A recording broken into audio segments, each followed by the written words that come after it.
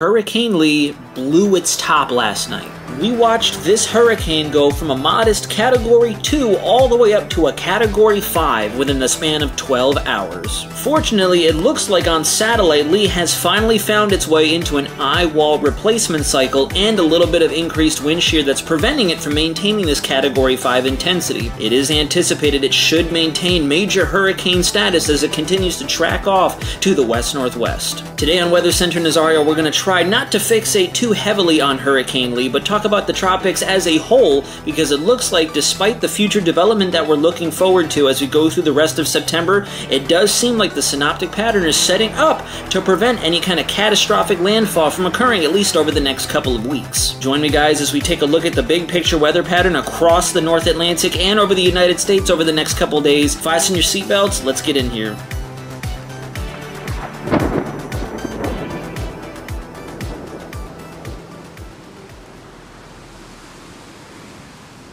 Alrighty, viewers, let's go ahead and get started. We're looking at National Hurricane Center's homepage. There are currently two active storms out in the Atlantic. However, everyone is kind of fixated on Hurricane Lee after the tremendous show he put on for us last night. Tropical Storm Margot is doing her very best out in the East Atlantic to hold on to that tropical storm title as she really gets the living daylights beaten out of her by some really good upper level wind shear out of the southwestern quadrant of the circulation. We're taking a look at the 11 a.m. advisory for Hurricane Lee. It did manage to fill a little bit from what it deepened down into yesterday evening. We were in the mid 920 millibars, and now we're back up to about 942, at least according to the 11 a.m. advisory. This brings it to as high end of a Category 4 major hurricane as we could possibly get with winds in the center of 155 miles per hour, gusts in excess of 180 easily. As it undergoes its eye wall replacement cycle and gets out of this area of upper level wind shear, we could see this re-intensify and potentially cross that Category 5 threshold once more as it continues off to the west-northwest. We haven't seen much in the way of deviations with the hurricane Hurricane Center track, albeit it is starting to finally show a little bit of a wobble to the north as we get into early morning Wednesday and through the day on Wednesday. However, you want to pay close attention to just how wide this cone is, and we'll get into that here in a minute as to why NHC has their cone expanded so much. Here's the latest information on Tropical Storm Margot. We got to do her a favor and keep her in our thoughts and prayers because, again, she is struggling to hold on to that tropical storm intensity with the amounts of wind shear she's getting hit with out of the southwest. Winds have been holding steady at 40 miles per hour, moving at the west northwest at 17 miles per hour, and it is likely to cross into more favorable conditions once we can get through the day of Saturday and into Sunday. We'll get out of that pocket of strong 40 50 knot wind shear coming out of the southwest, and it'll finally be entrenched underneath a warm subtropical ridge where she can finally wrap up in of itself and start to deepen into probably a category 1. All right, I apologize for the organized mess or the organized chaos that's brought on by this oceanic chart. However, what we really want to focus on is going to be this 1026 high pressure situated over the majority of the North Atlantic and the multitude of frontal systems making their way towards the eastern coastline. We have a 1013 mature low over the central Canadian provinces, moving off to the southeast, and we have two frontal systems that are unfortunately undergoing frontalysis, so really won't play much of a factor in the track of Hurricane Lee as it gets closer and closer to making that turn to the north. However, upstream, this next system, as it re-intensifies, supported by our 1023 high over western Canada, is what's likely to erode the western extent of our high pressure in the Atlantic and open up that channel for it to safely transition to the north. As far to the west or east this system tracks and when it makes that turn is going to be critical in terms of if we see an impact along the northeast coastline, maybe into parts of Maine, Nova Scotia, New Brunswick, and the eastern Canadian provinces up there. So regardless of what it continues to do in the near distant future, we still have about 7 to 10 days to observe Lee and see exactly what it wants to do when it takes that fateful turn to the north and who it could potentially impact when it does so. We're going to quickly look at our North Atlantic shear chart. You can see that the northern quadrant of Lee has found its way underneath 30 to 35 knot pocket of wind shear that's helping to kind of elongate the system off to the northeast. Coupled that with the ERC that it's currently undergoing, and we are going to continue to see a dissipation trend at least for the rest of the day today. Forward from here, I do believe it'll be in a much more favorable environment. You can even see it here indicated by these green barbs kind of hanging out together just off to its west. That's the general trajectory we forecast it'll continue to move. So once it gets into that area of lower wind shear, we will probably see the eye take shape once more. We could see it past that category Category 5 threshold because it's only 3 mile per hour below what we classify as a Category 5. These are the latest multi-model ensembles, the super ensembles for Hurricane Lee, and you can see that we have a good amount of confidence that we're going to see that sudden shift to the north. The big concern here is going to be the timing and the point in time in which it takes that turn. Some of the models want to take it further off to the west where it'll play a much greater role in what the Bahamas see out of this storm. It could even turn off to the north a little further to the east. I know that sounds like a conundrum, but if it does make that turn to the north further east of where we're pathing it right now, Bermuda is likely going to have to do battle with a borderline Cat 3 storm as it works its way to the north, entering more unfavorable environments for it to maintain its major hurricane status. But it goes without saying, Bermuda is going to have a hefty storm on their hands if it does turn a little earlier than we're anticipating. Over the last 12 and 24 hours, we've seen a bit more of a concentration in these ensembles. You can see at 0Z early this morning, we have a much wider margin of error with these ensembles and where it would turn to the north, some really tracking it off to the west, getting a little uncomfortably close to the Florida Peninsula, and others taking it way out into the Atlantic much sooner than we were predicting. 12Z was a very similar story. We had some outlier models wanting to continue this system off to the west with some transitioning even further east of the Bermuda Island. As of 12Z today, you can see we have a fair bit of agreement from all model platforms, the Euro, GFS, UK, and CMC. Well, I should say the UK hasn't populated in yet, but once we do,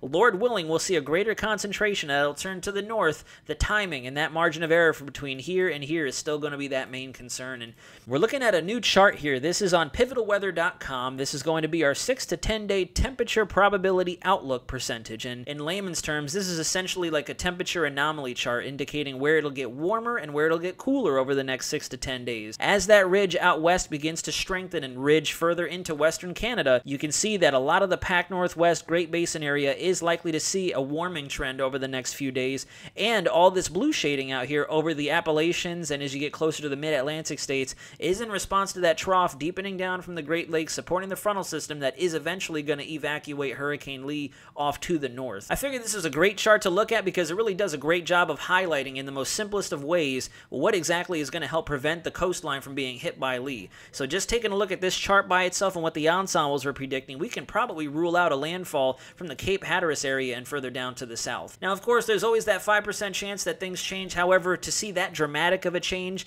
this close into the near distant future, we're looking at maybe five to seven days out now. I don't really foresee it happening unless something major occurs at the jet level or just below that at 500 millibars. So, again, we could see some changes, some shifting back and forth, but I don't think we're going to see something so dramatic as for it to continue to go west or suddenly hike off to the east, which would be an even better scenario that plays out. All right, we're looking at Tropical Storm Margot's homepage on Tropical Tidbits. You can see in this static infrared overlay, the storm is really, really having a hard time. You, honestly, you can't really even identify a storm looking at the static image because most of the thunderstorm activity has been skewed off to the northeast thanks to that wind shear coming out of the west and southwest.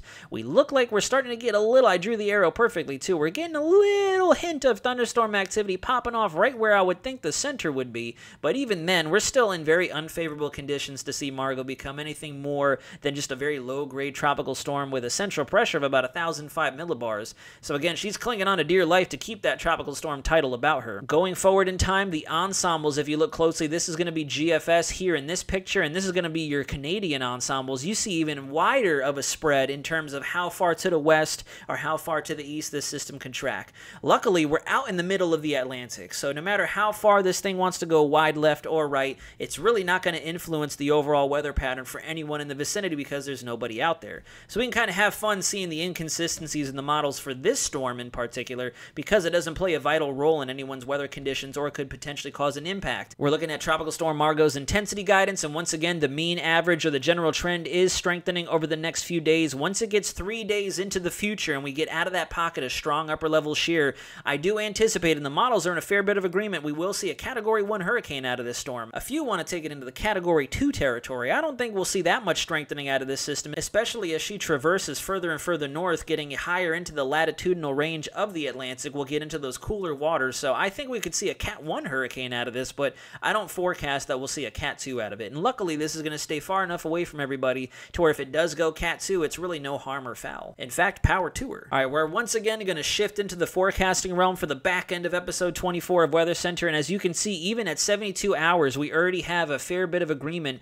that we could see a tropical depression take shape out of the wave that just exited the African coastline. But as you go further in time, you can see it doesn't quite hold on to the probabilities we saw in that first panel, but it does seem like the Euro is in a fair bit of agreement. We will see a depression come out of this storm, and then we begin to split the difference in terms of whether or not it wants to evacuate off to the north or continue into our lesser Antilles approaching the greater Antilles of Puerto Rico and Hispaniola, Dominican Republic. We also have hints of another depression coming off of West Africa, which is what I'd mentioned in my video, I think, a day or two ago, that we're still going to continue to see that African wave freight train coming off the coast and moving into the MDR. And despite the shear that Undergoing, that's to the north of where these storms are typically exiting the coastline. So they should stay in a favorable enough of environment to at least get a tropical disturbance, if not a depression, out of these storms over the next several days. As of the 12Z Euro ensembles, you can see a fair bit of agreement. We're looking out here over the eastern Atlantic. At about 120 hours out, some of our members want to organize a tropical depression and transition into a tropical storm. And then once we get beyond 200 hours, you can see that split difference in whether or not it's going to try to follow a reminiscent track of Hurricane Lee or push its way into the Caribbean. Right now, it looks like the models are favoring more of a northward track, keeping it away from our Caribbean Sea.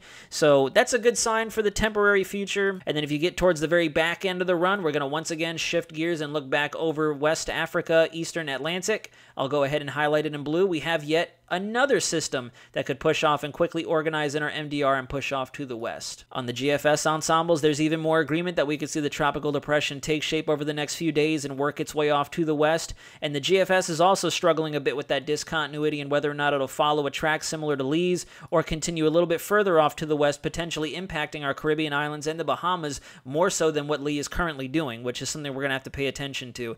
Towards the back end, if you look out over the eastern Atlantic again, the GFS is also in unison with the Euro and picking up on another disturbance. I know at this point it's getting a little crowded out there, so it's hard to pick up on, but trust me when I say you can see some additional ensemble members highlighting another wave that could organize into a depression as we get far out into the future, 300 hours plus. So there's plenty of time to get ahead of that and watch what comes off Africa. Last but not least, I wanted to show you the North Atlantic overall mean sea level pressure change or the trends in terms of what's likely to take shape as we get our next system out there, Nigel and potentially Ophelia. I do believe, at least for now, based on the synoptic pattern, we should be in a safe zone in terms of avoiding a potential landfall. As you go through time and you begin to see cyclogenesis occur in the MDR, there goes Nigel beginning to show itself as Lee quickly enters the northeast states and ejects out into the North Atlantic. Here is Margot finally having reached hurricane strength, working its way behind Lee. You can see that as we get another baroclinic system off the coast of the United States, it does open up a very similar channel to what we're seeing with Hurricane Lee right now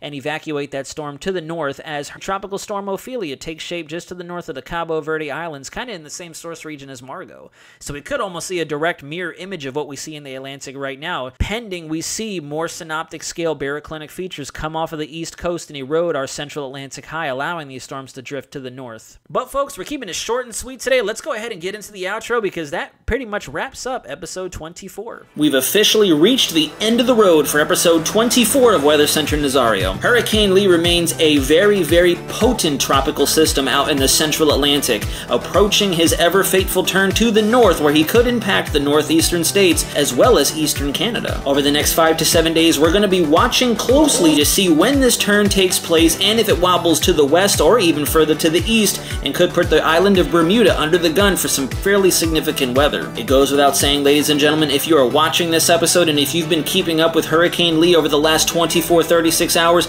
we are witnessing meteorological history taking place.